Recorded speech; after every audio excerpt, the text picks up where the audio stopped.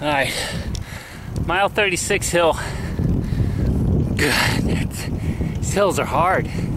I'm making them though. I'm making uh, them. I'm in a much better shape than I have been if I was tackling these last year.